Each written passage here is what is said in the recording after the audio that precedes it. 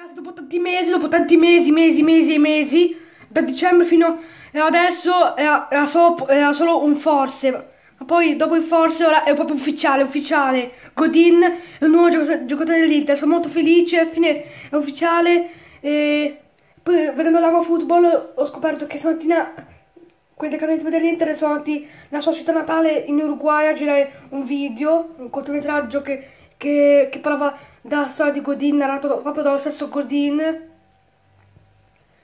E, e, e, e poi ho scoperto che qualche ora atterrà a Milano per fare, atterrà a Milano poi andrà ad Appiano a fare visite mediche insieme a Lazzaro che Lazzaro sta facendo visite mediche adesso. E tra qualche ora, e, tra qualche ora fa visite mediche anche Godin. Sono molto felice io ho fatto un video su Godin che serve quello